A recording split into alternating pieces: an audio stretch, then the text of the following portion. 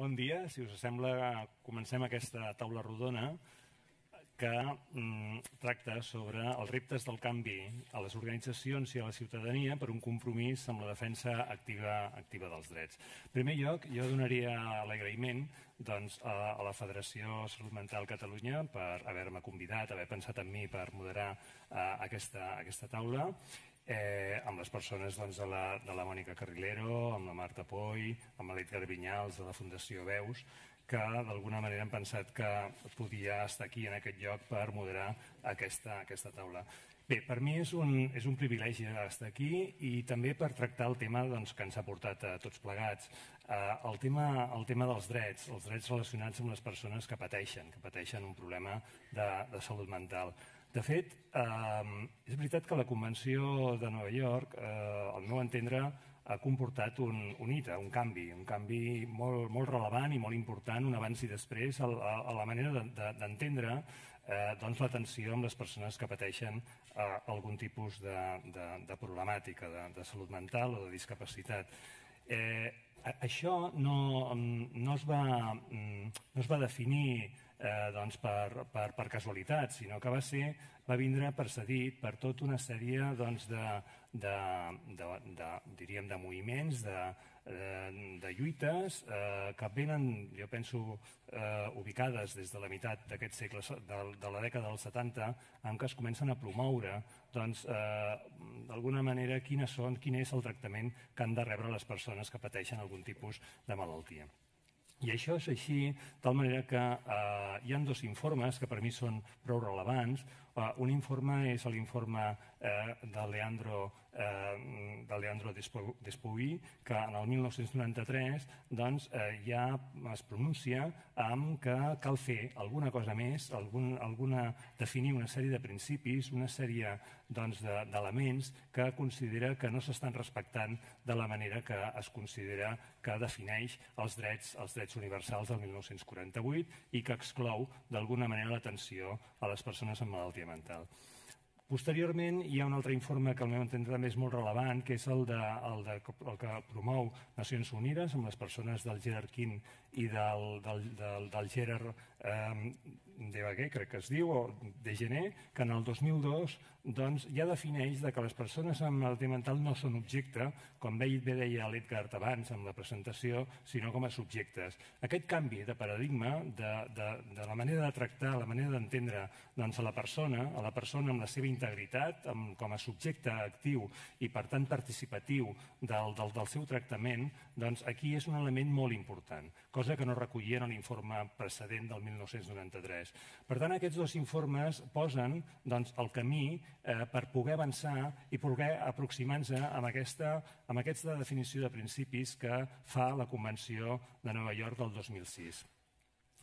Eh, la Convenció el que fa és instar els governs eh, doncs, dels diferents estats a que eh, promulguin lleis per poder, eh, d'alguna manera, incloure dintre de la seva legislació eh, aquest, aquesta convenció. I, de fet, doncs, l'estat espanyol ho fa doncs, amb, amb, un, amb unes lleis que emet el 2011 i que posteriorment, doncs, eh, en el 2008 primer i després ratifica el 2011 i en el 2013.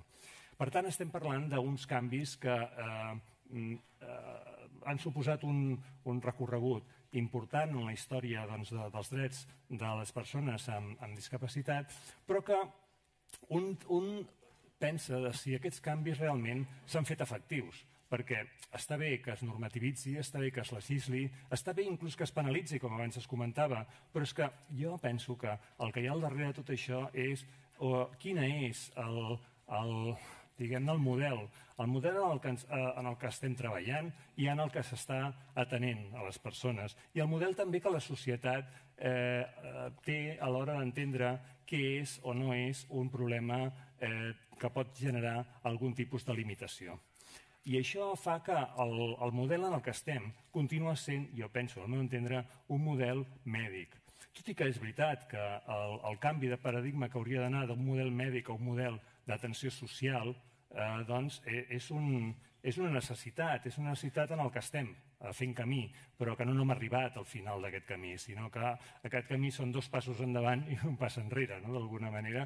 I així, per exemple, en tenim exemples. Eh, per exemple, el, el propi, eh, la, la, la pròpia ponència que fa uns anys doncs, eh, va defendre un canvi legislatiu en relació al Còdic Penal. Un Còdic Penal que, d'altra banda, doncs, en l'any 1995 havia comportat un canvi importantíssim a l'hora d'atendre aquelles persones que estaven implicades en situacions de delicte i que podien eh, tenir una, una, un problema de salut mental.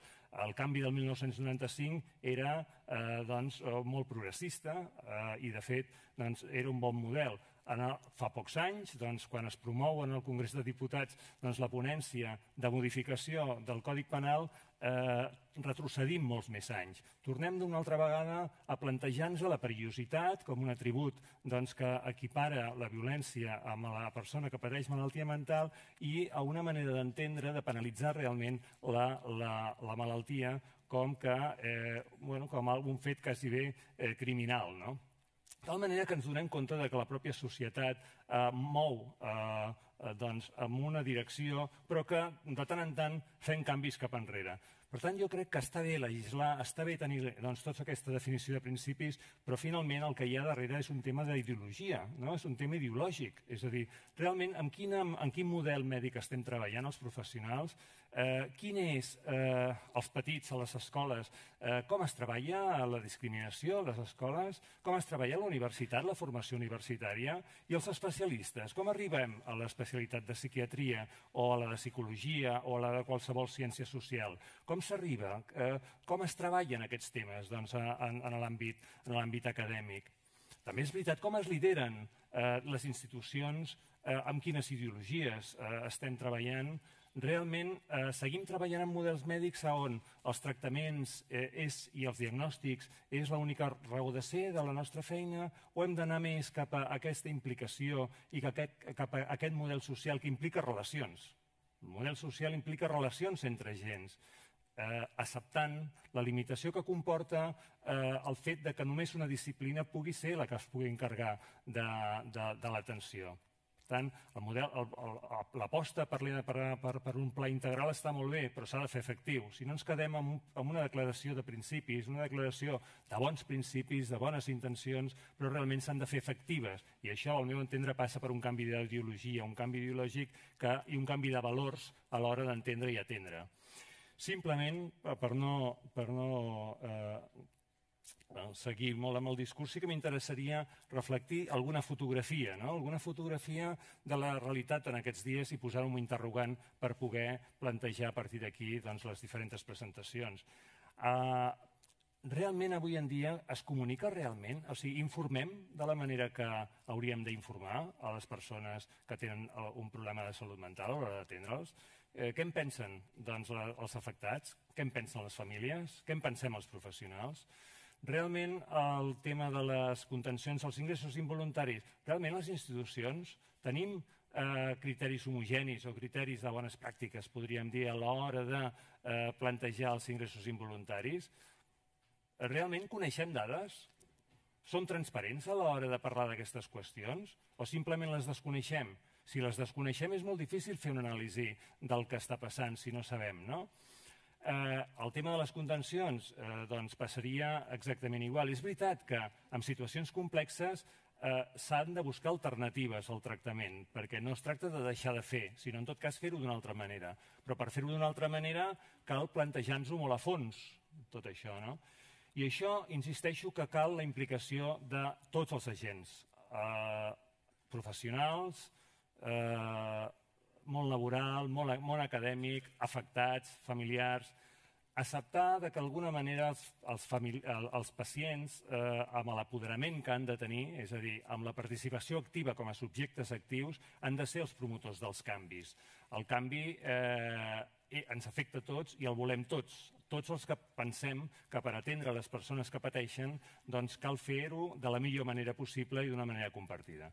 Entenc que a la taula avui doncs, anirem parlant d'això i deixarem un petit debat a veure el temps que tenim eh, fins al final. Mm, sí que ens han donat doncs, la pròrroga de 10 minuts, que són els que podrem allargar després del que està marcat en el programa.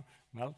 I, I bé, no, mm, sense més dilació, dono la paraula doncs, al, en Josep Maria Soler, que ell és el director de la Fundació Tutelar de les Comarques Gironines i que em consta que està apostant per un canvi de paradigma i per un canvi a l'hora d'entendre el que és l'exercici de la tutela.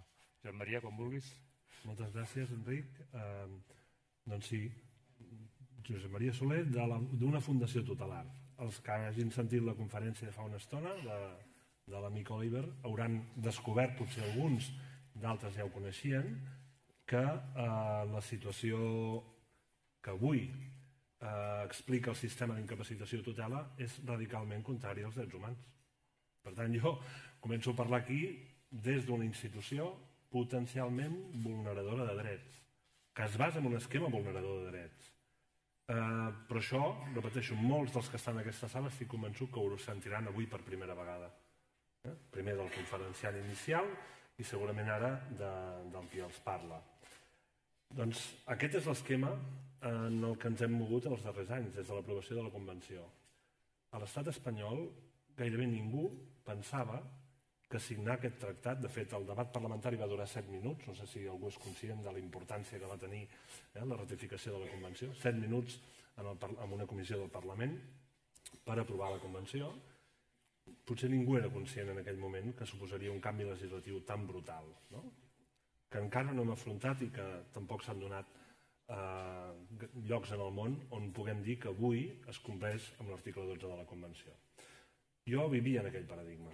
Vivia amb l'explicació que la Convenció de Drets de les Persones amb Discapacitat venia en el nostre sistema com una norma, no només com un principi, com una norma eh, de directa implicació per part, per part dels jutjats venia a dulcificar els sistemes de tutela, a modular-los, a fer-los més propers a la, als interessos, la voluntat de les persones, però que en el fons hi podia haver utilització legítima de les eines coercitives que avui té el mecanisme tutelar per limitar situacions de risc, per frenar decisions eh, que podien estar impulsades per una punta d'una malaltia mental i portar una persona a una situació perjudicial per ella mateixa. Jo estava convençut d'això perquè, de fet, em vaig creure, burro de mi, el Tribunal Suprem, que el 2009 va fer una sentència dient que el paradigma actual de, de les eines tutelars, del mateix procediment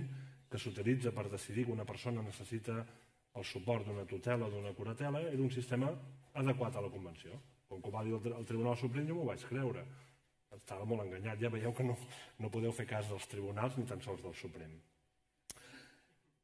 Què fèiem?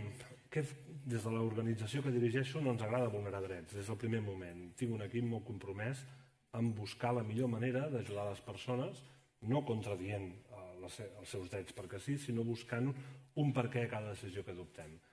L'eina que teníem en aquell moment era l'ètica. I, de fet, alguns potser hauran sentit a parlar de feines que s'han fet des del eh, l'Observatori d'Ètica aplicada als, eh, als serveis socials del campus Arnal d'Escala, en Joan Canimes, ens van fer un far de predicar que havíem de buscar mecanismes de valoració ètica de la presa de decisions substitutives.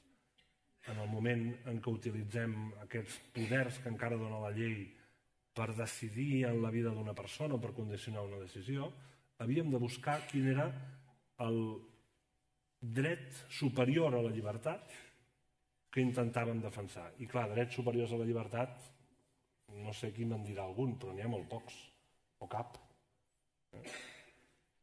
Així va ser fins que el 2014, eh, quan estàvem preparant una ponència amb un congrés mundial de tuteles, en què nosaltres anàvem a fer una proposta eh, de forma propositiva a la societat mundial del món de les tuteles, i escolta, hem trobat un mecanisme que ens podeu ajudar a desenvolupar sobre com valorar èticament les decisions substitutives, com poder graduar aquesta força immensa que ens dona la llei de, de canviar vides, perquè les podem canviar, i ho hem demostrat, i algunes en positiu, d'una forma que no vulnerem els drets de les persones. Doncs això va coincidir amb l'explicació que va fer el Comitè de Drets de Persones amb Discapacitat de Nacions Unides sobre què volia dir l'article 12 de la Convenció. I què va dir? Mai, mai, mai, en cap circumstància, ni tan sols en situacions de crisi, està justificada una decisió substitutiva que vagi contra els drets, la voluntat i les preferències de la persona. allà on la voluntat de la persona sigui difícil d'interpretar perquè la seva situació no li permet expressar-la, on fins ara hem utilitzat la guia de conducta dels que donàvem suport del millor interès de la persona, hem de buscar la guia de, conducta de la millor interpretació de les seves voluntats. Això sí que destruïa del tot les eines de les que partíem, perquè partíem de buscar aquest millor interès objectiu. Amb l'ètica buscàvem utilitzar les eines tutelars en, en la recerca d'aquest suposat millor interès objectiu que fins aquell moment hem pensat que es podia defensar. Clar, des de l'abril del 2014, 11 d'abril del, del, del 2014, que és quan s'aprova aquest comentari general número 1, soc conscient i el meu equip de la Fundació Tutelar som conscients, ara ja sí, que la Convenció ha vingut per desfer la nostra identitat, la nostra identitat com a Fundació Tutelar. Avui dirigeixo una Fundació Tutelar que potser és la més gran en dimensió de persones amb les que estem treballant a Catalunya i jo sé positivament que allò que hem sigut ja no eh, està d'acord amb els estàndards de drets humans. Per tant, l'hem de canviar. Fins i tot ens plantegem canviar el nom i jo crec que no trigarem massa en, en canviar-lo, perquè no volem que el nostre nom estigui associat a una institució que eh, rep tants cops conceptuals a tot el món. Què hem fet des d'aquell moment? Primer, formar-nos. Formar-nos. I potser, quan se'm demanava, parla de la cultura del canvi, com podem canviar els serveis orientats als drets humans si no coneixem en profunditat què significa eh, els drets humans que la Convenció recull i tradueix en discapacitat, perquè són els mateixos drets humans. Eh? La Convenció no innova, la Convenció tradueix els drets humans que són per tothom perquè arribin a ser efectius i reals a la vida quotidiana, que és on els drets han de defensar de les persones amb discapacitat. I això és el que estem fent en aquest moment, formar-nos d'una forma eh, exhaustiva, en la totalitat de la Convenció. Perquè si els eh, responsables d'unitats aguts d'un hospital només es miren l'article 14 dels ingressos involuntaris o l'article 17 del tractament involuntari, eh, poca feina faran.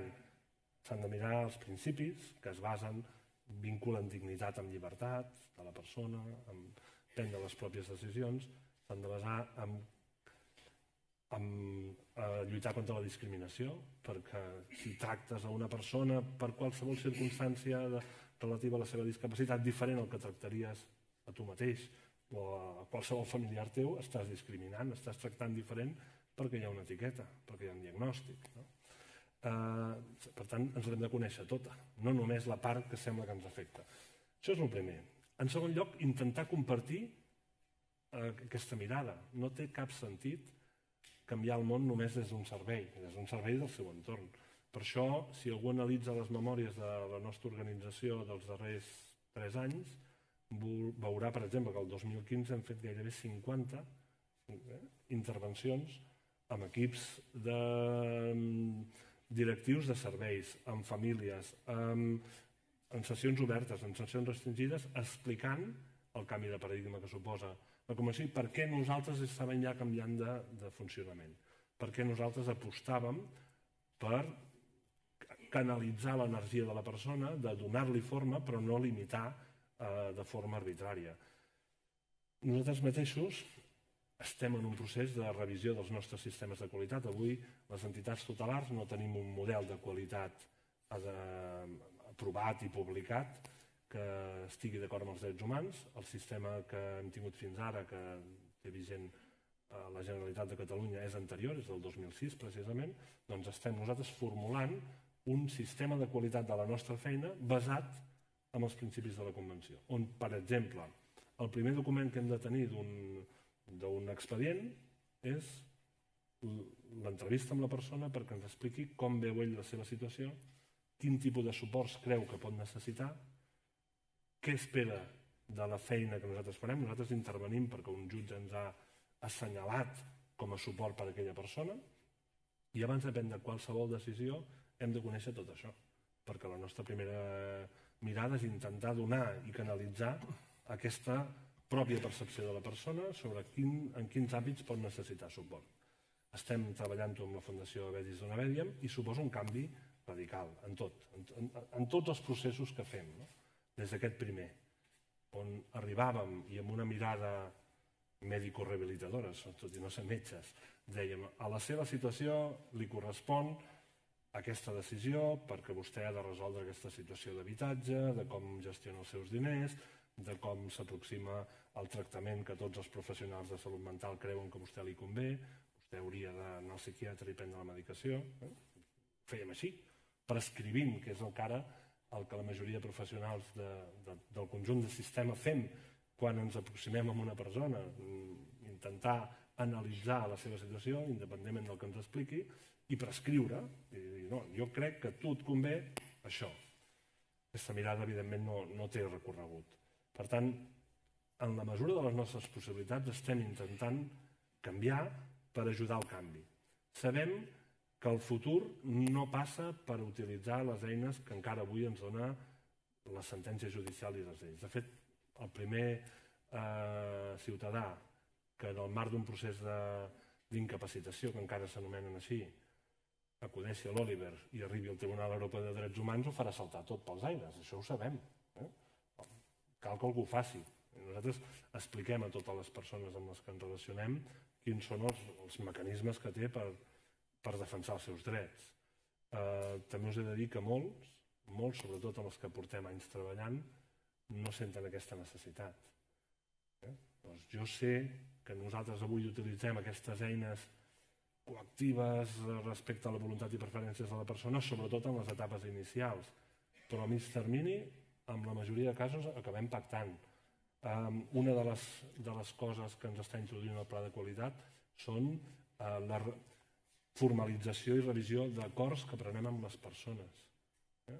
On en la majoria de situacions avui hi ha un acord sobre com l'hem d'ajudar i quins són els riscos que assumim. Eh, ahir mateix em signaven un amb una persona que sortia d'una alta, d'una estada a aguts, per prescripció judicial, amb una, perquè era un, una persona que havia comès presumptament perquè no s'ha jutjat un delicte i el jutge el va veure molt alterat i el va enviar a l'hospital per comptes d'enviar jo personalment penso que hauria d'haver anat a la, a la presó eh? jo que el conec penso això però el jutge va considerar que no que aquella persona el que necessitava era un suport psiquiàtric. El primer que em van dir a aguts de, de l'Hospital eh, de Santa Caterina de Sal va ser que no, eh? que li donarien d'alta immediatament. Doncs vam firmar un acord mitjançant el qual aquella persona nosaltres assumim que tenim una tutela, fixeu-vos bé, la, la màxima protecció jurídica que avui té el sistema, no, no vam poder intervenir nosaltres en el procediment d'aquesta persona, si no, evidentment, no, no la tindria, que ella es feia càrrec de la totalitat dels seus ingressos, de que ens demanaria suport quan ho considerés, i assumim el risc de sent tutor d'aquesta persona, que avui la llei em dona la responsabilitat civil directa i objectiva, no subsidiària, eh, directa. Si aquesta persona fa una trastada, fa mal a algú, i aquest algú li exigeix responsabilitat civil, el tutor respon directament. No cal ni, ni acreditar negligència, ni Eh? Per tant, quan diem que les lleis han de canviar, han de canviar del tot, no només cap a una banda, han de canviar del tot. Doncs jo assumeixo això, perquè crec que aquesta persona el que necessita és experimentar la seva llibertat i veure fins al màxim del seu coneixement si necessita o no ajuda. Crec que avui no me la demanarà, no sé d'aquí un temps, no sé. Eh? Nosaltres percebem que moltes persones, quan t'aproximes d'aquesta manera, entenen millor què suposa rebre suport a la presa de decisions. Que aquest és el, el gran oblidat quan es parla de l'article 12. Només parlem de l'abolició dels sistemes d'incapacitació, però no parlem de crear un sistema de suports adequats. I una altra, hi ha una altra qüestió que també està en l'article 12, les salvaguardes.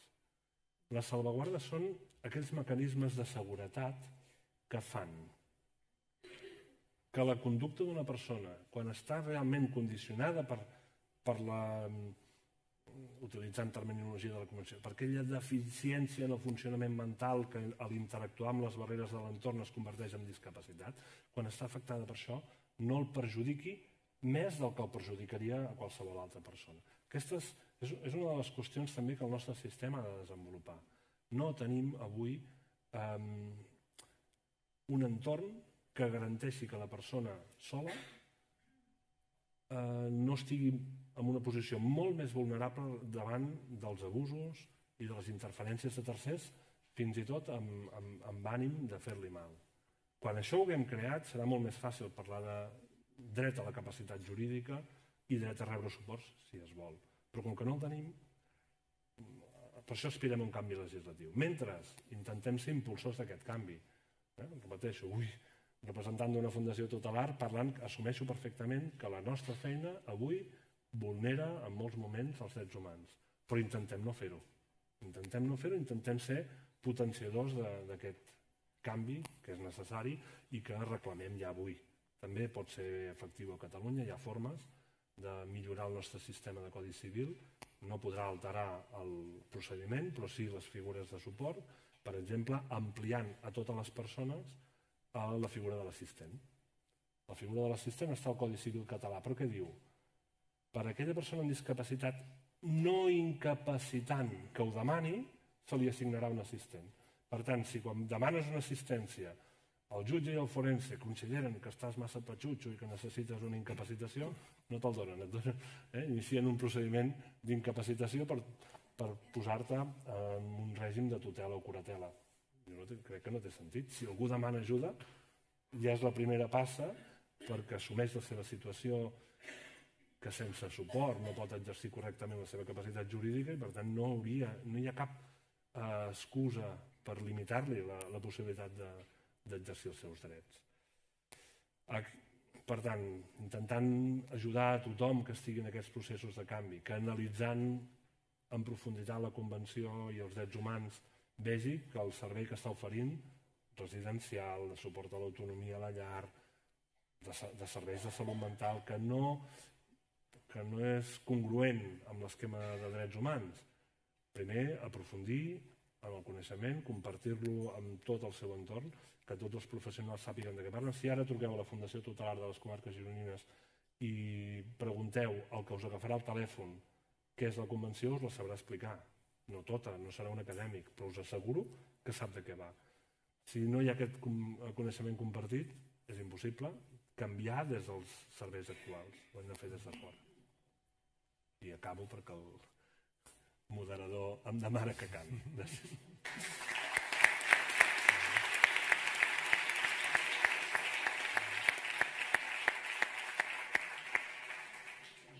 Moltes gràcies, Josep Maria, per senyir-te el temps i també per la claretat amb l'exposició, perquè crec que has tocat temes que són molt rellevants, com és doncs, la, el, primer ser autocrític no? amb el que un fa, el qual això és una, un, un primer valor no? que jo penso que és molt, molt important. L'altre és aquesta, eh, doncs aquest esforç de realment d'aplicar el, el deixar el que és la, el, el, el, que és la substitució per realment el suport. No? El suport i també el treball de la responsabilitat. Jo penso que són un exercici que és molt important i que a vegades és molt difícil per la tendència a la sobreprotecció i el paternalisme que no toca eh, en aquest moment ni en cap moment, però que s'ha fet i s'havia fet doncs, una constant amb la nostra, amb la nostra feina. No?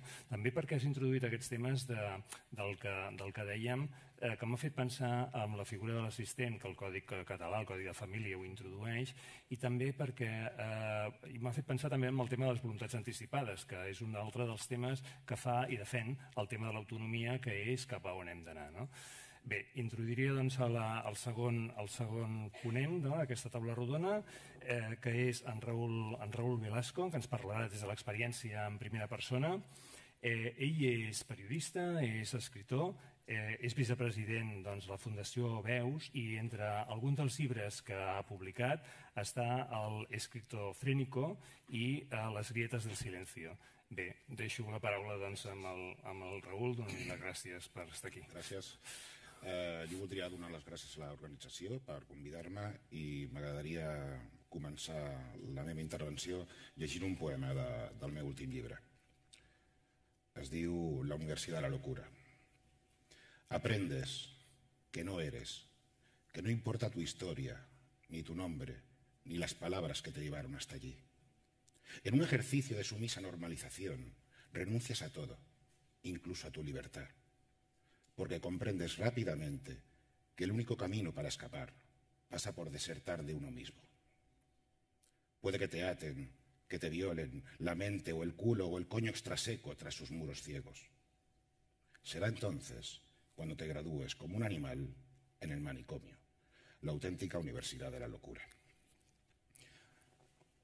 Uh, agafo el meu bloc de notes. um, quan una persona pateix una primera crisi, és molt possible que estigui visquent tant ell com, com la seva família una situació de violència.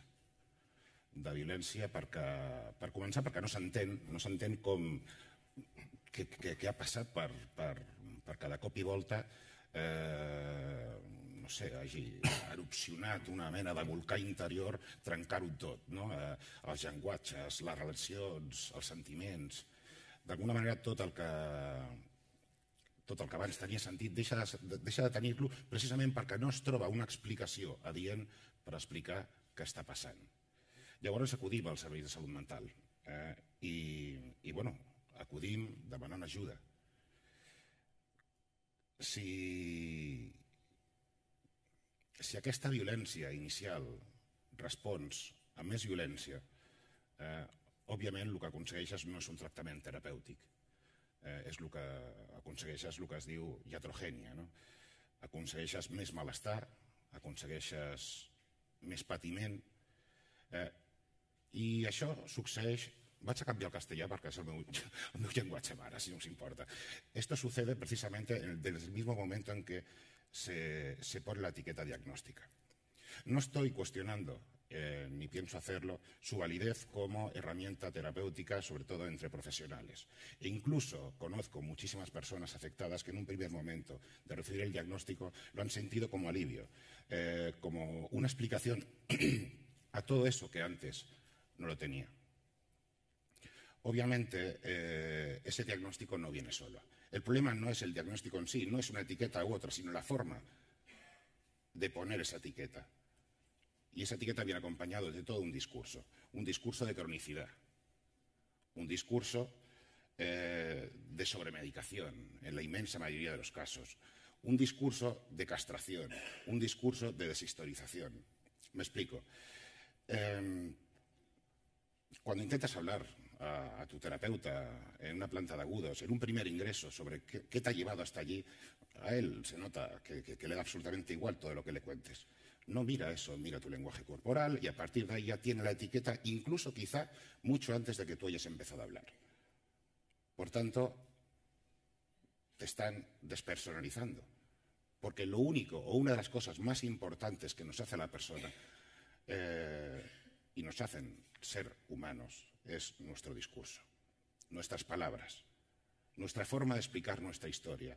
Y eso se ve talado de raíz. A partir de ahí tienes que asumir la etiqueta que te pongan y todo el tratamiento, porque para empezar, si no, no sales.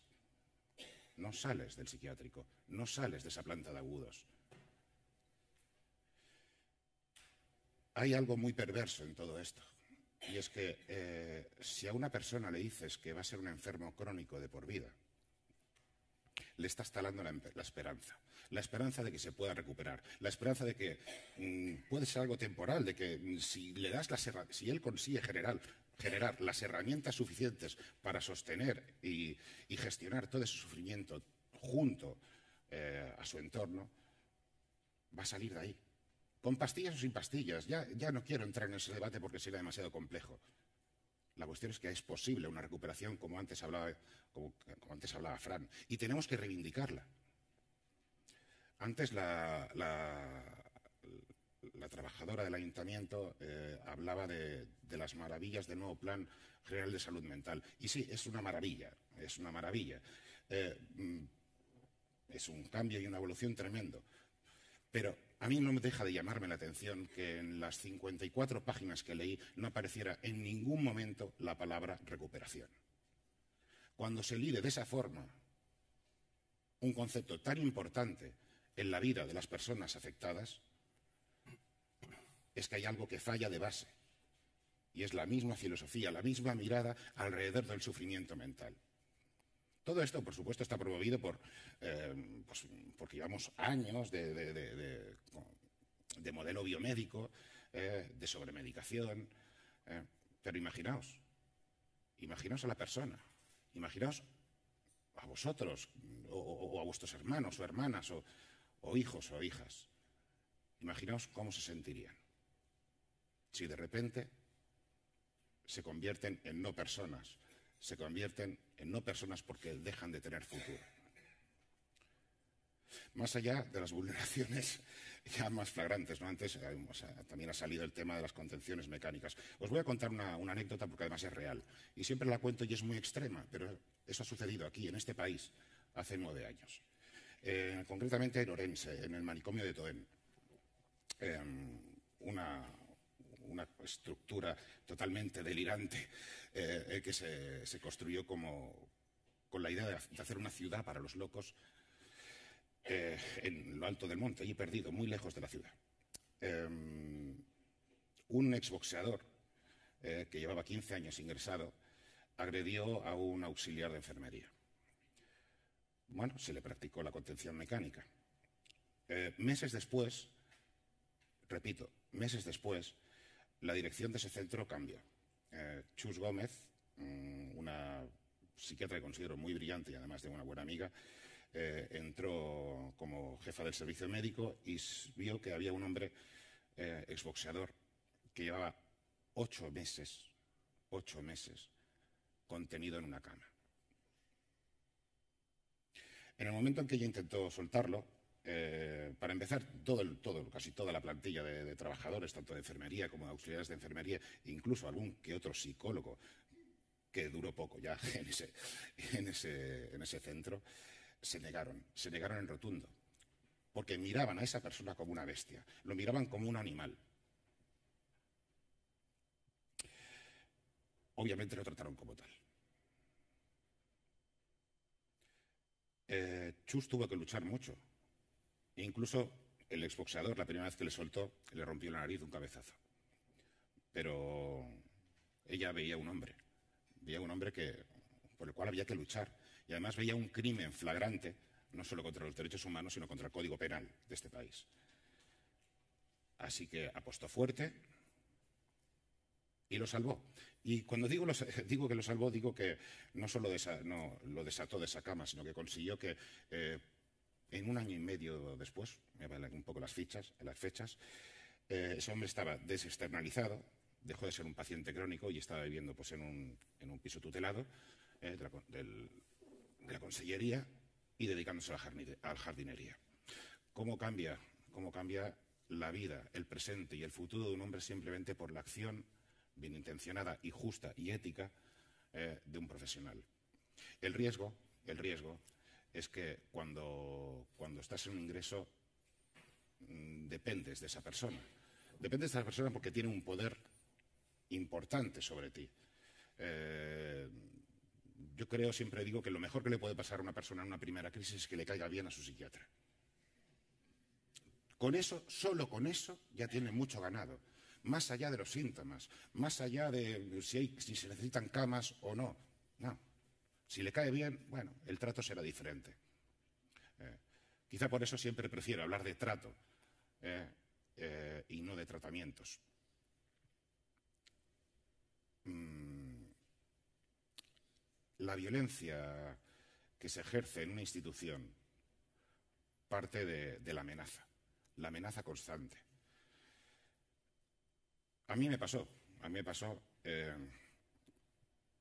durante mi último ingreso, por suerte ya hace nueve años, eh, y he escrito muchos libros desde entonces.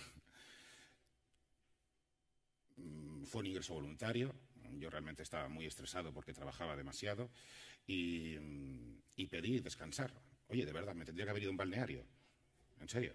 Eh, la cuestión, toda esta historia viene a que cuando yo llego, me suben a planta sobre las once y media de la noche eh, y todo el mundo está dormido, yo salgo ya con mi pijama eh, y habiéndome tomado los, los, psicofármacos que me administraron, salí de, de, de mi habitación simplemente para tomarle medidas a la planta. Yo era muy consciente que iba a pasar ahí unas semanas. Eh, es más, había agradecido ese ingreso en ese momento, pero quería hacerme con el espacio, tomar la medida, aunque ya lo conocía, para tomarme también a mi propia medida, no, no sé si, si, se explica. A partir de ahí, eh, una enfermera me dijo, eh, o te vuelves a tu habitación eh, o, o teatro. Y yo intenté razonar con ella. Le dije, dame dos minutos, por favor. No te estoy pidiendo mucho, no te voy a crear ningún problema, te lo aseguro. Estoy adaptándome al medio, al espacio, para poder sentirme mejor. Lo que vi es que la, mirada de esa mujer eh, era realmente amenazadora. Así que me volví a mi habitación con el rabo entre las piernas, realmente acobardado, porque, porque me di cuenta en ese momento que me tendría que haber ido a un balneario. Eh. Eh, antes hablaba de castración, y esa castración sin duda es física, psíquica y simbólica. Es una castración psíquica porque anulan tu identidad, te imponen un discurso y unas categorías con las cuales la inmensa mayoría de personas no nos sentiríamos nunca identificados. Pero es una identidad impuesta. Una identidad que pasados los años, mucha gente no es capaz de desprenderse de ella. Nosotros en Beus nos, pasa mucho que nos acercan personas diciendo eh, soy Pepito y soy esquizofrénico, soy Pepito y soy bipolar, soy Manolita y, tengo TLP, o soy TLP. Eh, qué pena, ¿no? ¿no? Tú eres Pepita o Manolito o Joselito o Juanita, da igual, pero ese diagnóstico desgraciadamente ha conseguido suplantar lo que esa persona realmente sus capacidades, sus virtudes, todo lo que es esa persona pasa por el prisma del diagnóstico. Acabo de recordar una, anécdota. Yo estoy en plan anécdota porque me dijeron que hablara de experiencias reales. Y la mía mmm, ha sido bastante buena, ¿eh? a pesar de lo que he contado. Así que, bueno, me pongo así, ¿no? Eh, acabo de recordar una, anécdota. Eh, la Fundació Congrés Català Salud Mental organizó los llamados grupos de pensadores, que eran grupos donde tanto profesionales como familiares, como personas afectadas, eh, compartíamos espacio y debate. Mm, reflexionamos sobre distintos temas, los tratamientos, el ingreso, etcétera, etcétera. Lo más bonito es que allí eh, en esos grupos, que eran realmente horizontales, se pusieron de manifiesto eh, muchas... Vamos, que lo que decía el sistema biomédico y de lo que, lo que se había creído o lo que le habían dicho a la inmensa mayoría de madres o a la inmensa mayoría de personas diagnosticadas no era cierto. Es decir, eh, que la materia gris y la materia blanca del cerebro eh, no, no, se, no, desaparece por la esquizofrenia, sino que desaparece por los neurolépticos eh, y, sobre un, y, por un tratamiento prolongado de neurolépticos. Una serie de cosas tampoco voy a entrar muy.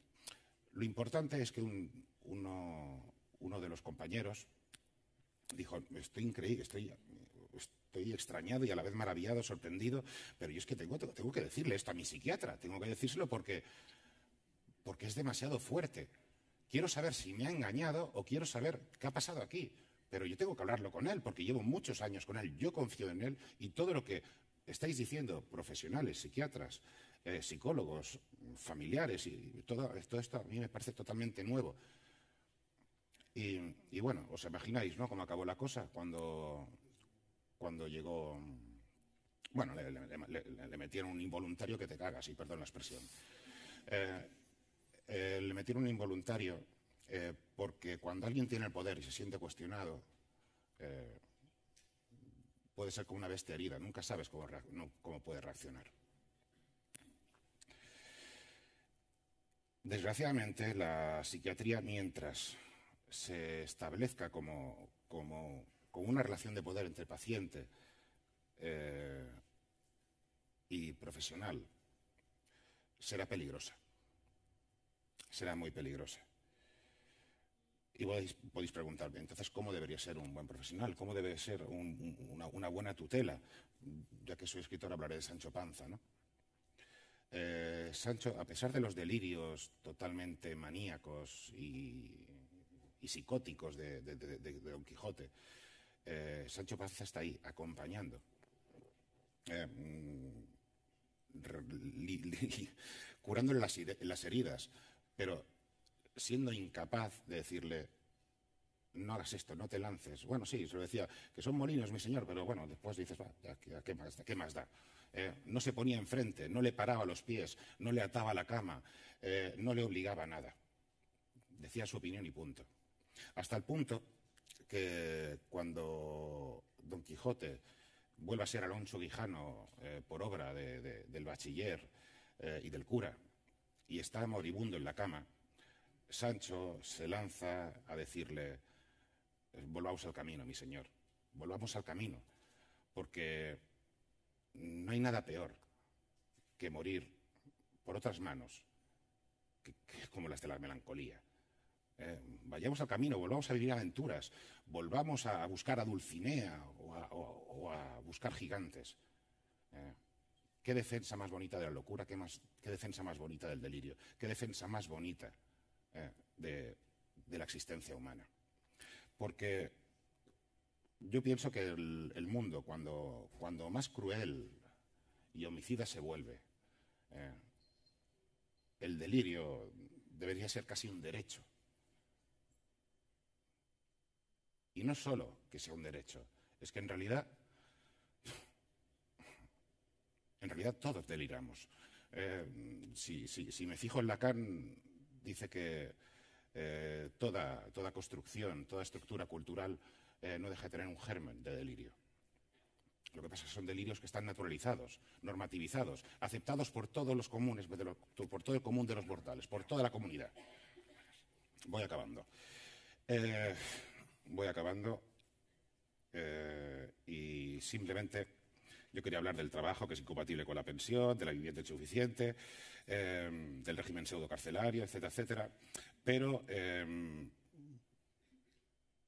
voy a volver a hablar de riesgos, porque antes, escuchándote, he recordado pues, que en el año 2010 se redactó el artículo 763 de la Ley de Enjuiciamiento Civil eh, y que eso no deja de ser un intento de asegurar la toma forzada de migración de forma ambulatoria, lo que se llama el TAI.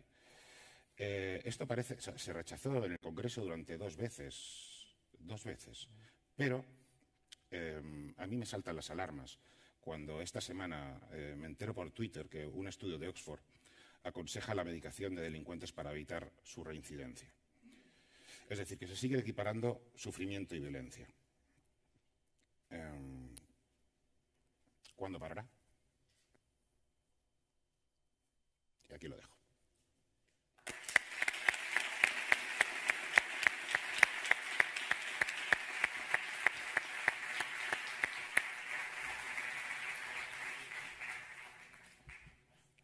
Sento el fet de tenir que tallar, però és veritat que, eh, que, que em toca jugar el paper així de, eh, de dolent a la taula i de marcar els temps perquè sí que són, són importants. Home, és evident que has introduït temes de, de molt calat, eh, de molta, doncs, des de l'experiència no? vivencial, i penso que hem d'aprendre molt d'aquesta experiència vivencial en el sentit d'incorporar-la, perquè jo crec que per als professionals el que també jo entenc que hem de pretendre, això no vull dir que eh, tots estiguem amb la mateixa identitat, però sí el que hem de voler, eh, hem de voler algo que coincideix plenament amb el que vosaltres voleu, que és el millor tractament possible per les persones que pateixen.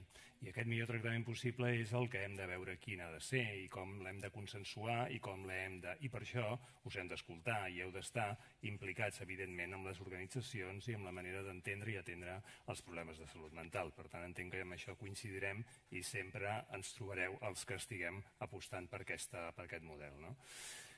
Bé, Tenim doncs, a l'última ponent d'aquesta taula, que és la Maria Àngels Porxes.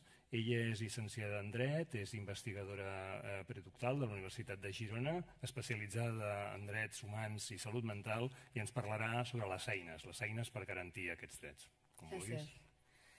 Uh, bueno, jo volia agrair una vegada més a la Federació Salut Mental Catalunya, a Federació Veus, per organitzar aquesta jornada i per convidar-me a parlar al cantó d'en Josep Maria i en Raül, que per mi és un, un honor. Tots els éssers humans neixen lliures i iguals en dignitat i drets. Així comença el primer article de la Declaració Universal de Drets Humans. Però això no és una realitat, ni a la pràctica ni a la norma. Les lleis estableixen limitacions en els drets basant-se bàsicament en la coexistència de dos criteris. Per una banda, patir un trastorn mental i per l'altra, que aquest no permeti a la persona autogovernar-se. i particularment en tres drets que són els que vull centrar la meva intervenció, en el dret a no ser privat de llibertat, el dret a ser informat i poder decidir sobre el propi tractament i el dret al suport en l'exercici de la capacitat. Tenim certes garanties de control judicial i processal perquè no es limitin injustificadament aquests drets. Per exemple, durant els ingressos involuntaris doncs, hi ha d'haver una autorització judicial prèvia o posterior en un ingrés urgent, un control periòdic judicial, que a Catalunya és de màxim de cada dos mesos, hi ha d'haver un dictamen mèdic en el qual es sol basar el jutge per prendre la seva decisió, però també hi ha el dret a ser escoltat per al jutge, i no hem d'oblidar això, i moltes vegades el jutge sí que se n'oblida. El dret a ser escoltat constitueix part del dret bàsic a la defensa, que és el dret a oposar-se en aquest ingrés i a ser representat i defensat contra aquest. Respecte al dret a ser informat i poder decidir sobre el propi tractament, és el dret a exercir l'autonomia en salut, hi ha una opinió errònia generalitzada que les persones que pateixen un trastorn mental no tenen el dret a l'autodeterminació en els tractaments mèdics. Però les lleis que regulen els drets dels pacients, que a Catalunya és una llei del 2000, són d'aplicació a tothom, tingui un diagnòsi de càncer o un diagnòsi d'esquizofrènia. Així, una persona ingressada involuntàriament també perd, té el seu dret, perdó, no perd el seu dret a ser informat i escollir entre alternatives de tractament.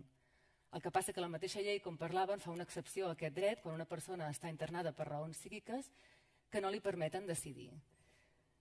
I, per tant, molts jutges el que fan és utilitzar, a la vegada que autoritzen un, tractament, un, perdó, un internament involuntari, a la vegada per ser un tractament involuntari.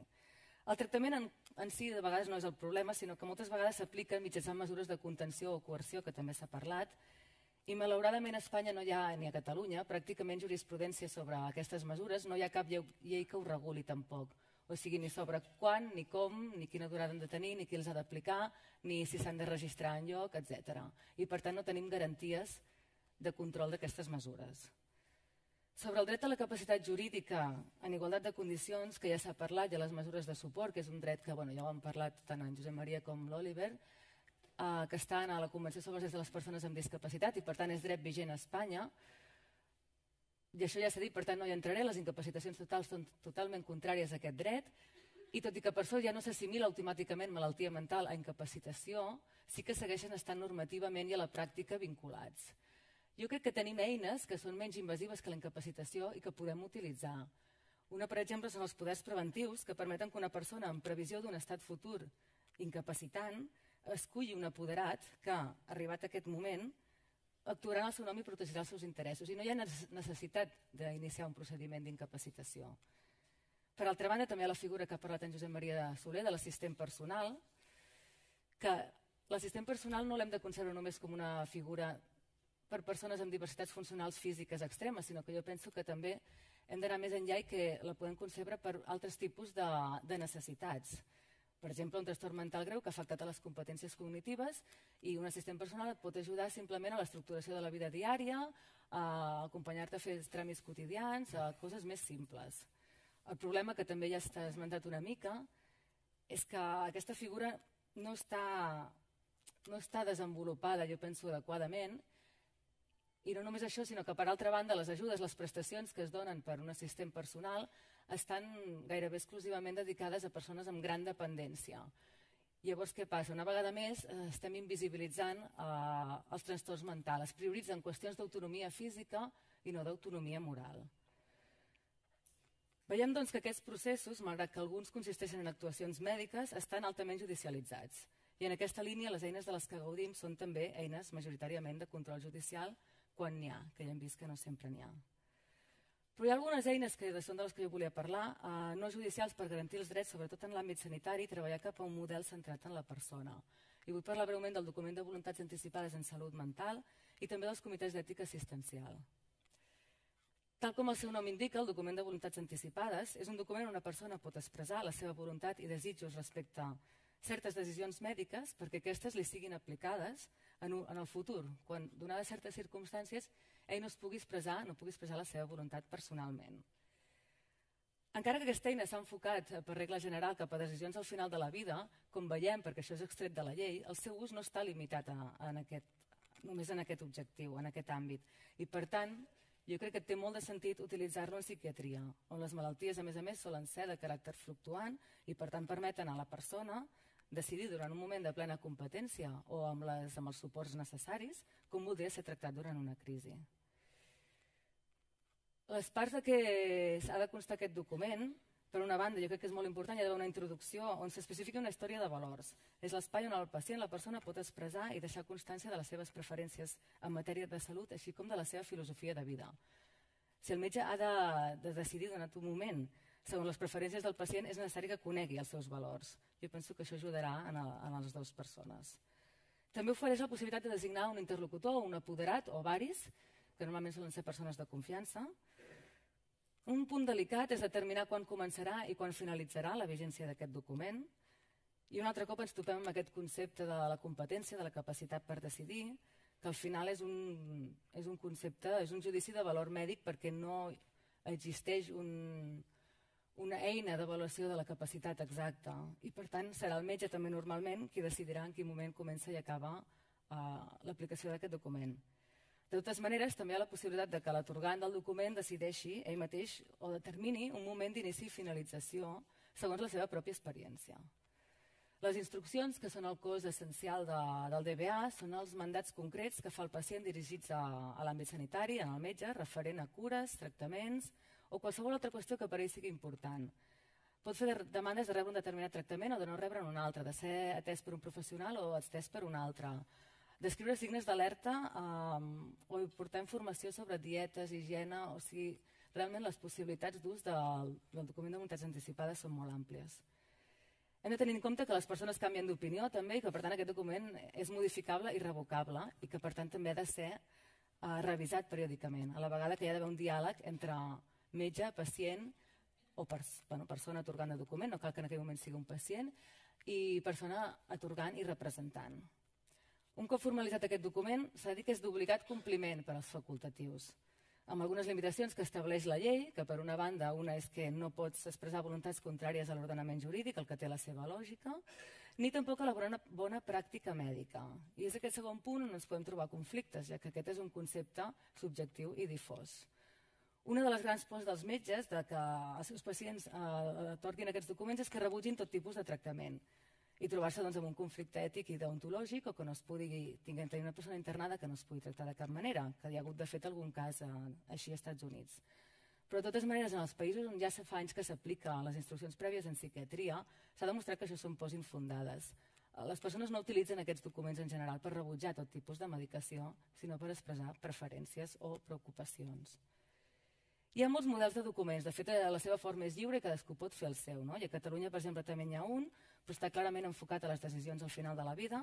I jo us volia ensenyar un model que és el de... Pensa que no es veurà, és un model eh, enfocat a, en salut mental, fet el, per al grup de treball de drets humans i salut mental de la Federació Andalusa d'Usuaris en primera persona.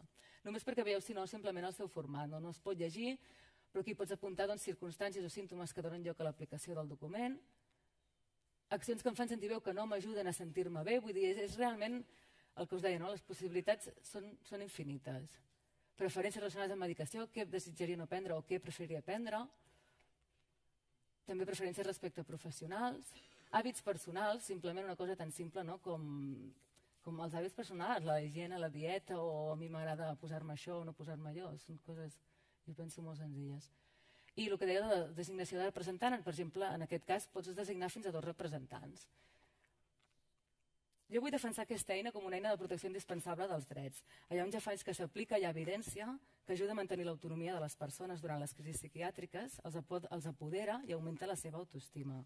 Redueix la percepció d'ús de mesures coercitives, s'observa menor incidència d'autolesions i violència i a la vegada que té una influència positiva en el benestar de l'usuari, ja que l'autonomia al final i la satisfacció dels drets són elements claus de la recuperació, que és el que comentava també el company. I fer una referència als comitès d'ètica assistencial, els CEA, eh, suposo que més qui menys tothom els coneix, els CEA són òrgans consultius de les institucions sanitàries que aborden problemàtiques ètiques que es plantegen durant la pràctica assistencial i per això també poden ser molt útils en aquest àmbit que ens ocupa. El seu establiment als centres no és obligatori, però sí que penso que és desitjable si es vol gaudir d'uns estàndards ètics al centre.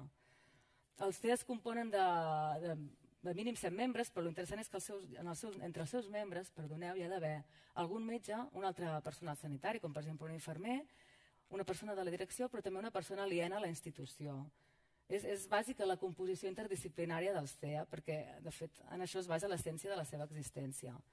Són instàncies de deliberació on no ha de prevaler una visió mèdica, que és la que fins a dia d'avui ha impermeabilitzat l'atenció psiquiàtrica i també de fer la no psiquiàtrica. I aquí us havia posat les funcions bàsiques del comitè, però la més important jo penso que és assessorar això en conflictes puntuals que sorgeixin en la relació assistencial i clínica. Um, el que passa que també pot anar més enllà i formular protocols, orientacions comuns sobre conflictes de valor que generin més recurrentment en, en aquell centre en concret a la vegada que una funció que també és important, evidentment, és formar en temes d'ètica i bioètica. Cal quedar clar, però, que no són funcions dels comitès intervenint en denúncies i reclamacions, o sigui, no, no intervenen jurídicament, ni fer judicis de valor, ni vincular a les seves decisions. Els comitès actuen a demanda de part, per tant, ha de ser el professional o el propi pacient els que sol·licitin la seva intervenció. Cal tenir en compte, però, com, com us deia, que les seves decisions no vinculen legal i clínicament, però sí que vinculen ètica i moralment. Per això crec que és important. Poden crear precedents ètics. De totes maneres, a Espanya cal visibilitzar-los. Realment els comitès són entre, tracten entre 6 i 12 casos l'any, el que és molt poc. I bueno, per això us en volia parlar. Això només volia mencionar-vos que també altres organismes defensors dels drets on podem recórrer si creiem que se'ns ha vulnerat a, Dins del síndic de Greuges de Catalunya hi ha un departament que és el defensor del pacient. Si creiem que se'ns ha vulnerat un dret en l'àmbit de l'administració sanitària, podem recórrer aquí, després d'haver-nos queixat eh, davant de l'administració. I el mateix a Barcelona hi ha aquesta agència pels drets civils i la no discriminació, que crec que també és interessant que la, que la conegueu. I llavors ja, com a contrapunt a la nostra experiència, eh, per anar acabant, jo crec que és interessant veure, donar un cop d'ull a altres iniciatives, altres experiències, i com que no tinc ara temps, oi? Bueno, doncs bàsicament parlar de l'experiència d'Argentina, que jo crec que és molt interessant, on s'ha aprovat una llei que es centra en la defensa dels drets dels pacients amb malaltia mental. Els ingressos involuntaris queden restringits i subjectes a control per un òrgan de revisió interdisciplinari on participen organismes de drets humans. A més a més, es parteix de la presumpció de capacitat de la persona i aquest canvi de paradigma i es trenca amb l'ordre legal basat en la psiquiatria, ja que els pacients són avaluats interdisciplinàriament. A més a més, això també és interessant, l'Estat eh, en aquesta llei eh, obliga a designar un advocat defensor de tota persona ingressada involuntàriament, el qual pot oposar-se en qualsevol, moment en aquest internament i a més a més tindrà accés al control de les actuacions sobre el seu defensat. Perquè a Espanya sí, tenim dret a la defensa i la representació, com hem vist, però és un dret que el propi pacient o el seu representant ha de sol·licitar. I ens imaginem que en una situació d'un ingrés involuntari doncs no, no és la situació ideal per reclamar els drets. I mencionar potser també els tribunals independents de salut mental, que són tribunals que estan a molts països anglosaxons, que són els que decideixen, són tribunals específics que només decideixen sobre ingressos i tractaments involuntaris. I són tribunals, que això és lo interessant, interdisciplinaris. Una vegada trenquem amb, aquesta, amb aquest paradigma mèdic i vinculants, a diferència dels comitès. Em salto doncs, bueno, les altres dos exemples, si no ja hi tornarem. I ja doncs, a moda de conclusió per anar acabant, eh, jo només volia fer una reflexió de que l'existència de protocols, lleis i normes no ens assegura per si mateix que es porti a terme una pràctica ètica respectuosa amb els drets, especialment en salut mental, on l'efecte de l'estigma en la vulneració de drets té com a conseqüència que no es percep el subjecte com a titular de drets moltes vegades. Hi ha vulneracions que, bueno, el que es comentava, que estan tan interioritzades a la pràctica professional que ni els propis professionals es donen compte que s'estan portant a terme. I tenim algunes garanties per evitar aquests abusos, sobretot judicials, però la seva eficàcia és limitada. Tenim algunes institucions de defensa dels drets, però cap dedicada exclusivament a la defensa dels drets de persones amb trastorn mental. I, I bé, jo volia fer èmfasi també en aquesta idea de que millorar, rehabilitar-se no és un concepte només vinculat a la reducció o desaparició dels símptomes de la malaltia, sinó que està intrínsecament unit al respecte per la dignitat i la voluntat de la persona i a la capacitat de satisfer els seus drets i de ser feliç, que al final és l'aspiració de tot ésser humà. Ningú no necessita ser considerat només en el seu aspecte més passiu, com a subjecte necessitat de protecció, sinó també com a gent actiu que participa i construeix la societat. I en aquest sentit jo crec que el canvi implica una construcció i deconstrucció social, de construcció de conceptes. Però bueno, ja, ja acabo, volia acabar amb aquesta frase de Fernando Rey. Els drets valen el que ell és un jurista espanyol, els drets valen el que valen en realitat els seus instruments d'assegurament. I bueno, jo penso que els drets de les persones amb trastorn mental doncs, encara no valen suficient. Bé.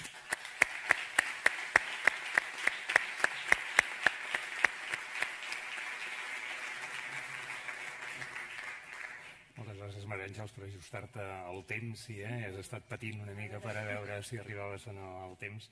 Però a mi em sembla que s'ha introduït temes s'ha introduït temes molt importants i que també és cert que el sistema judicial s'ha de posar les piles eh? eh perquè, esclar, el sistema judicial eh, tampoc no ajuda perquè no tenen el coneixement, no tenen la formació i tampoc no senten que aquest tema els hi, els hi vingui gaire de gust, diguem-ne, no? i els hi està bé.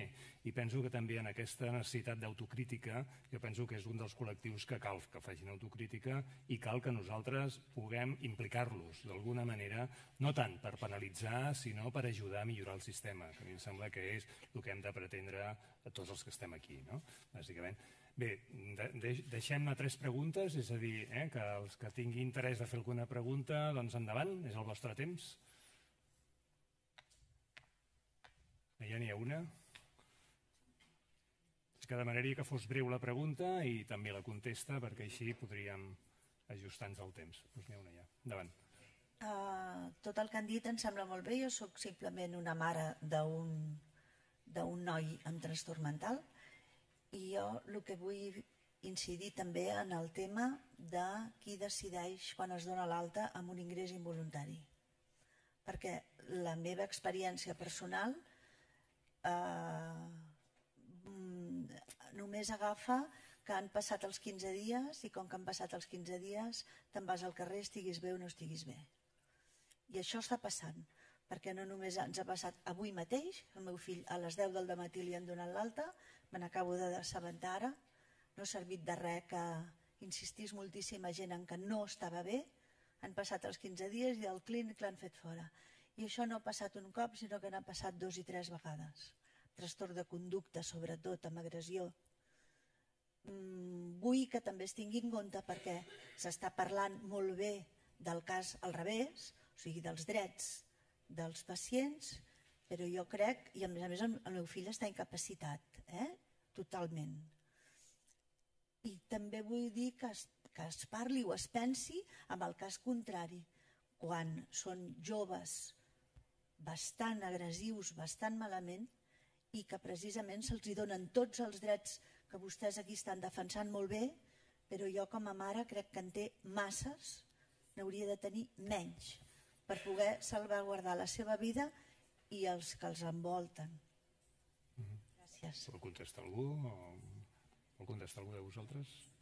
O Bé, jo? jo li diria en, primer el respecte per, per les preocupacions de tothom, és evident, però el que tinc molt clar també és que el camí per al que anem, precisament perquè els drets humans així ho han prescrit, no és amb la utilització d'aquest tipus de mecanismes, sinó amb acompanyaments més propositius, proactius, persuasius, persistents, que això no el tenim. Per tant, aquest és el, una mica el, el, la dificultat. Si avui eh, la institució de l'internament involuntari o el tractament involuntari no l'utilitzéssim, ni utilitzéssim les eines, per exemple, que, de, dels mecanismes tutelars, el problema és que no tenim una alternativa construïda i que la societat no és conscient que aquesta alternativa ha de ser radicalment diferent.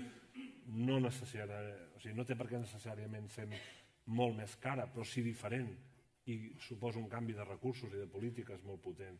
Això és el que no tenim assimilat, però eh, jo estic convençut de que aquest, aquesta preocupació que vostè expressa perquè avui un mecanisme d'internament voluntari ha decidit el metge, segurament, el responsable de la unitat, i per tant la institució d'una una alta, el que a vostè li preocupa és si el seu fill surt, no té l'acompanyament professional suficient, no té l'entorn que el pugui acompanyar amb la seva situació actual, amb el seu moment actual. I per tant haurem de substituir aquestes, aquests mecanismes fàcils de recórrer, perquè un internament és un mecanisme relativament senzill de conceptualitzar, en canvi el suport en la comunitat no. I aquí és una feinada que tenim entre tots, no? de construir aquest entorn que acompanya les persones fins i tot en aquestes situacions complicades i de crisi.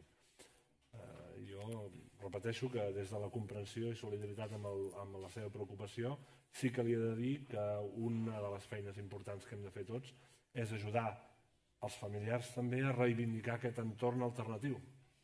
No només demanar que s'utilitzi eh, el mecanisme actual de l'internament i del tractament involuntari perquè vostè no veu bé el seu fill, sinó sobretot que l'alternativa sigui també d'acompanyament, no de solitud, no d'abandonament. Hi havia una paraula, ja. Jo-. Jo també... Se sent? Sí? Sí, sí, sí. Jo també sóc mare de... Bueno, el meu fill té 34 anys i als 18 anys també va brotar amb esquizofrènia. Jo entenc eh, la, la problemàtica d'aquesta senyora, però jo vull... Estic amb, més amb la posició positiva i critico les institucions perquè tot i haver molts recursos, eh, el que falta a vegades no són més diners sinó més coordinació.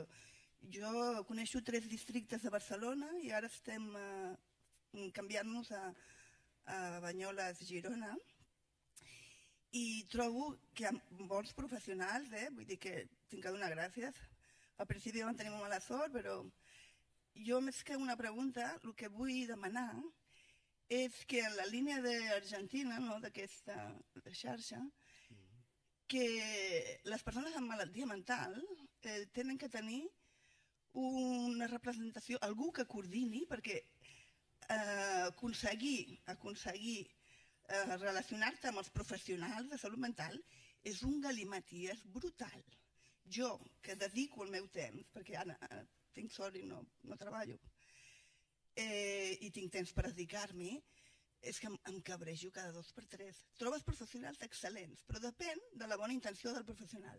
Llavors, que informàticament jo vaig amb un cap, la metge de capçalera no trobi l'expedient, que, que després que l'altre, just al costat, tres treballadors socials, i no poden veure aquell expedient tampoc, o sigui, estan al mateix lloc. Eh, jo crec que va relacionat amb la qualitat, amb el, amb, amb el tema de sanitat. Hi ha aquest galimaties tal brutal de sanitat a Catalunya que depèn del barri que vius, o sigui, districte o poble, et pot canviar la vida brutalment i depèn de la voluntat del professional. Això no, no és sèrio. En tants diners com es dediquen, és que necessita una figura de coordinació. Això és vital per mi, perquè havent-hi tants recursos, no pot ser que tu visquis en un poble, per exemple a Girona, resulta que hi ha transport, un, uns autocars que passen cada dues hores i per recórrer 11 quilòmetres, a part que no hi ha subvenció econòmica. Clar, estic acostumada a Barcelona, que a la targeta rosa i és fantàstic, no? A nivell de transport ja no es contemplen les persones que tenen una, una renta baixa, o sigui, que directament ja no surten. És a dir, després, un seguiment estadístic. No es tracta de penalitzar, però sí que hi hagi un control posterior de com funcionen les coses. A veure, una persona amb, problemes mentals és impossible que pugui parlar. És a dir, com sabem com pensen? És que s'ha de fer una estadística amb ells, no amb els professionals. Jo acabo, acabem de... Li van donar l'alta en un centre de dia, que no diré l'espai, no? Recursos i tal, però resulta que van posar l'informe final que, que li donaven l'alta perquè no estava capacitat per treballar. El que no pot ser és que diguin que no pot treballar. Això no se li pot dir a una persona. Jo penso que s'ha d'estimular no només els drets, sinó la funció que aquella persona pot fer a la societat. Tots tenim dret a expressar, perquè canvia molt. El meu fill va treballar a la Fundació DAU, que va anar molt bé, però se'n van anar a la Quinta Punyeta, a la zona franca, amb la qual ja no va poder continuar allà, però ja fomentaven el- el- la valua pel treball. Tot, tots necessitem treballar. Una persona que et diuen que, que ets passiva, passiva, passiva, doncs acabes no fent res i, i, i acabes pues, acostumat a que et mantinguin i, aquest, i això és molt dolent per la persona. Restem, si de cas, per deixar peu, Per veu veu, una eh? altra paraula, si volies comentar.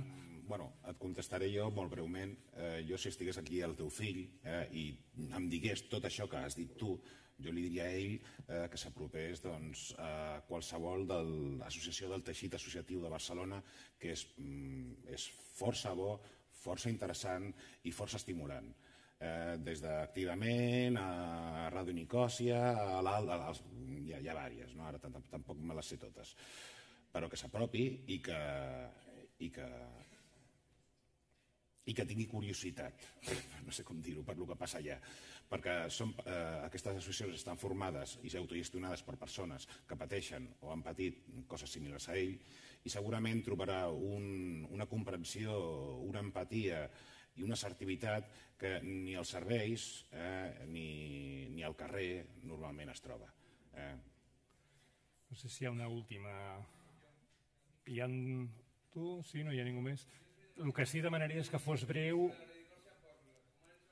Espera, espera, que et posaran el micròfon. Espera, espera, espera, espera. et passem un micròfon i així et sentim millor. Es que como has comentado Radio Nicosia, pues ya que lo comentas, pues mira, eh, allí en Radio Nicosia efectivamente eh, tenemos una comprensión más, más grande del individuo porque muchas de las experiencias que una persona puede tener las hemos vivido nosotros antes, ¿no? Y colgamos el diagnóstico en la puerta y somos fulanito de tal, Antonio, David, eh, eh, pues no sé, Luis, ¿no? Eh, Mica, o sea, no, no somos un diagnóstico con patas, ¿no? No somos un número de, expediente, ¿no? Entonces, pues, eh, estamos intentando que la relación eh, paciente-psiquiatra no sea de una jerarquía superior para el, el el psiquiatra, sino que con los conocimientos que tiene el psiquiatra nos pueda ayudar él con la medicación que podemos tomar en un momento dado y nosotros con la experiencia personal de, cómo nos influye la medicación en nosotros, ¿no? Por ejemplo, ¿no? Solo quería hacer este comentario. Gracias.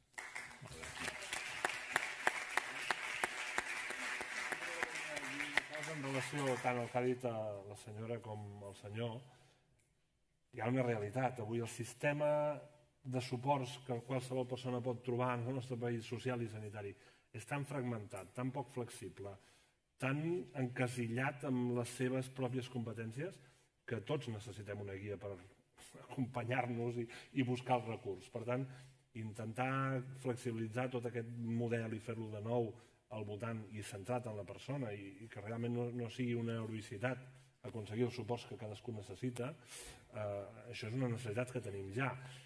També és una necessitat que aquests recursos com el de Ràdio Nicòsia i d'altres siguin oberts també a situacions personals eh, molt delicades i amb molta necessitat de suport. O sigui, que és un repte també, veient l'Edgar, que sempre ens en tira cap a l'altra banda, el repte d'obrir-se a totes les situacions, fins i tot a aquelles en les que hi ha més necessitat d'acompanyament i de, i de companyia, no? de, de, de que les persones amb l'etiqueta aquella tan dolenta de trastorn mental sever també trobin oportunitats perquè mm, ens costa a vegades de... Home, Eh? Jo voldria, jo voldria contestar-te amb dues coses. Home, jo crec que una cosa bona que està passant ara mateix a Catalunya, molt, molt ràpidament, molt ràpidament, una cosa bona que està passant ara mateix a Catalunya és que el nou Pla Integral de Salut Mental eh, a nivell de, tota, de tot el territori eh, doncs, conjuga a totes les conselleries eh, eh, al voltant de la presidència doncs, que d'alguna manera està eh, dirigint eh, tot aquest nou pla. No? I d'altra banda, jo crec, eh, per lo que conec eh, a Ràdio Nicòsia activament i altres associacions, mai, mai tanquen la porta a ningú. Una altra cosa, una altra cosa és que si una persona necessita un acompanyament, té unes necessitats, eh, la, la, la, aquest acompanyament es pugui realitzar d'una manera doncs, espontània, eh, o, o, però realment és perquè per afectes, eh, per vincles eh, humans. Eh, jo vaig estar molts anys a Ràdio Nicòsia i no era, era molt comú que si una persona la ingressaven i estava passant una crisi aguda, doncs mm, se l'acompanyava i se l'anava a visitar i doncs, eh, també doncs, conec altres altres eh, altres La crida, situacions. la crida era perquè l'empoderament arribés a més gent, eh? aquesta és la idea. Ei, Que tenim molta gent en la que ens costa arribar-hi tots. com dèiem al 15M, vamos lejos, vamos lentos porque vamos lejos. Vinga. Està bé, doncs amb aquestes paraules jo tancaria la taula de- d'ara mateix. Em- Vols dir alguna cosa? Sí? Molt bé, gràcies. Sempre.